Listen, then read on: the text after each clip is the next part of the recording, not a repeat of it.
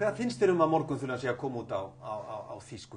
Ég er bara afskapla fegin og, og hissa hvað þeir eru seint á ferðinni með það, eða seinlátir með það og hérna þeir eru, þetta, þetta gengur betur með svona, ég býti baranlega bókmæntum í það ekki til markað og hef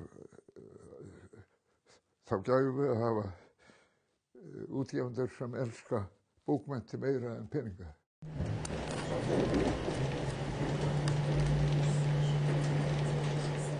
Hvernig, hvernig eh, svona, tókst þér að draga fram lífið? Varst að vinna eitthvað hérna? Nei, ég Í var svona, ég, þó ég sé nú Annað en alltaf að tala um þetta, ég hef verið að læra að skrifa þá og, átti nú að heita svo, ég hef verið við nám í Sorbonne svona og, og var það svona, sko, og ekki með, mínu, með mínum hætti, sko. Annarkvort, sko, það var þetta, eða þá að ég get bara að fara á sjó, sko, og, það langaði mig alltaf daldið til að gera, að vera á sjó. Því að sjórin tókaði alltaf í mig og, og hefði ég ekki verið í þessu sem ég er í, þá hefði maður hérna, messi þá hefði maður hérna verið eh, sjómaður, held ég. Ég held að hefur ekki komið annað til greina. Hvað er það sem að gefur þér svona mikið við að, við að skrifa? Að þú vaknar seint á daginn og ert að skrifa fram úr öllu á, á nóttinu? Ég vakna ekki seint á daginn, það eru nú Hádegi? hádegi, svo það Það er svolítið seint. gefur svo, já, já.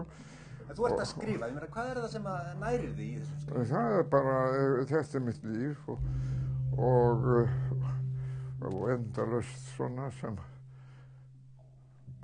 já, svona reyna að ná tökum á, á því sem maður skynjar og Það er þessi þrá, hún er ennþá til staðar. ég, ég maður hvað. Þessi þráður, jafn, jafn, jafn. Það verður ekkert línast, og- ekkert línast. Það verður ekkert línast. meðan, eh, og svo er ég sæmilega formi svona og eh, þannig að ég man ekki til hvað ég er búinn að fá vera lengi á jörðinni og gera það sem ég get meðan ég kemst upp með það. Á ég segja það þú fættur, ég man það. Já, þú mátt segja það, þú hefur það bara, 1925. þú mátt hafa það fyrir þig og, og aðra sem þú vilt brota kasta því til. Ég er alls ekki að reyna að skrifa stundungu upp, ég er alls ekki að reyna það. Í morgun heldur, já, heldur bara sko það ítti við mér öðraði og, og hjálpaði mér á stað með þetta. Hvers vegna tapaði þessi maður sem var eh, svona eh, bara af öðrum að svo mörgu og var dæmdu til þess að verða kóngsefni eiginlega eins og aðstæðna voru í samfélaginu hvers vegna tapaði hann lo lokastriðinu og þess er ekki getið hjá Sturlu Þórðarssoni sem ég er svo djúpa aðdáðan á. Ég bara hvergi reymi hvergi þar sem ég er að reyna að uh, krafsa í það sem hann gerði. Og ég er ekki að skrifa, heldur að skrifa mína sögu, leysa mál sem leit þá á mig og komast með alls sonar sem mér áskotnaðist í ferðinni við að skrifa. Þú ert auðvitað reyndundur, þú kemur skaldskapin inn í þetta náttúrulega. Það, það, það er skálskapurinn. Hann kemur ekki bara inn í það, sko, eftir því sem ég gefst, byrinn, byrinn til að komast áfram þetta og fara alla leið. Það er skaldskapurinn sjálfur eins og þú segir, hann kemur ekki bara Skálskapurinn með sjálfur, ég er ekki að reyna að skrifa upp aðra bækur og herma það sem aðrir er búin að gera. Það er alveg, ég hef enga löngu til þess að herma það sem aðrir, eða, eða fletja það út, eða jafna, eins og sem er segja að það sé gera við biblíuna, að gera hana einfalda og auðskiljanlega. En þetta var háskóli íslenskar alþýður um aldir og ytrustu menn landsins þýttu bara sneið og. En eh, umge, þekktur og umgest einhverja höfunda á þessum tíma, eh, útlenda? Já, maður þekkti menn svona, uh, þá, þá voru menn mikið af mennum sem ólu svona stóra drauma og, og fannst eitthvað úskaplega mikilvægt sem þeir væri að gera og, og þyrftu að gera og, og, og svo vurðu sumir, sumir náðu því og aðrir ekki. Var ekki sart hérna? Og svo var sagt, ég var ekki sart maður, en það stendur í bókmyndasögu eftir, eftir Stefán Einarsson að það stendur að Elias Mar, Elias vinnu minn Mar og, og Tór Viljánsson, sko, ég, vinn minn, ekki, ekki Stefáns menn ég, ég bætti, bætti þess inn að sögja, vinn minn. Elias Mar og Tór Viljánsson eru undir áhrifum frá Jean-Paul Sartre. Ég hafði ekki hugmyndur um það þangað til að stóði í þessar bók. Ég vona að hann hafi haft eitthvað fyrir sér í því sem hann var að segja í bókinni. Og svo kom hann einu svona heim uh, uh, til okkar Margreðar og, og þá segi við hann, já, heyrðu Stefán, þú veist að segja að ég var svo mikið undir áhrifum frá Sartre. Ég, ég vissi ekki af því, ekki fann ég það sjálfur og, og hafði ekki sérstakann áhuga á Sartre. Og, en Camus, hann var minn maður.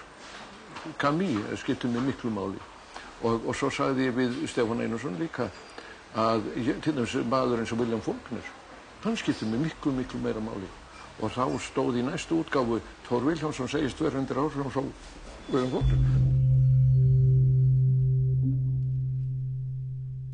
Drengur á fjalli, ártali 1208. Drengur reykar til fjalls, þóku dreifið efra um eggjar. Í úrunnu lifnuðu steinar með skófum og mæltust við hann nývöktum myndum og fjörlugum í miðnætur húmunu. Enn voru nætur bjartar og skýði bara um nálætnið. Fláinn var aflýðandi í fyrstu þýð með sprækum skellimyndum skófan á gnúðum steinum sem voru mestu grafnir, hvörf eftir þornaða læki, mosi og gras og smári, bláklukkur og geldinganappar, en snögglega var landi brattar hann sótt upp á hjallan við fyrstu blágríti skyrðingun á kleif stall til sætis á mosató og horfði yfir skýða byggðina.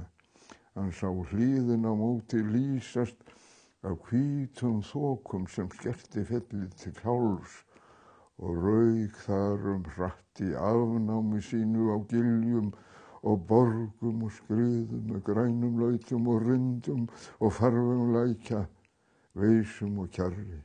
Þá mótaði fyrir fjallsrótunum yfir gráu fljótinu sem liðast breytt með kvíslum og lænum um slettagrundirnar og þögtu dalinn miðjan um smýrin tók við með tjarnarauga sem á öðru kvöldi var gullið eitt sér af atburðum loksins þá.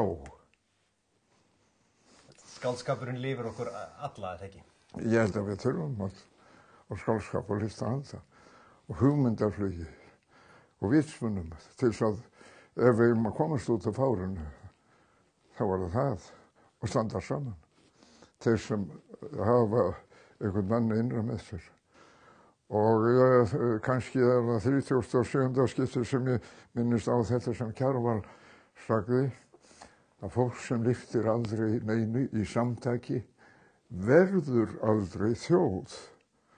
Og nú rýður á þess samtæki og vinna fyrir okkur sem þjóð meðal þjóða heimsins.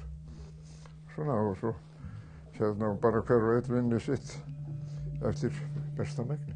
Og þú ert að vinna þitt á annóttunni, þú ert að skrifa þessa sögu. Er, já, Skáldskap. þessa sem við varst að tala um áðan, ég er búinn að skrifa hana og þá bara er maður lentur bráðar í einhverju öðru, sko, með sömu þrá. Og þrá kjörni kannski, og þrá, og það er nú svona daldið, já, að fylgja eftir. Áfram, áfram. Áfram, áfram, áfram, áfram.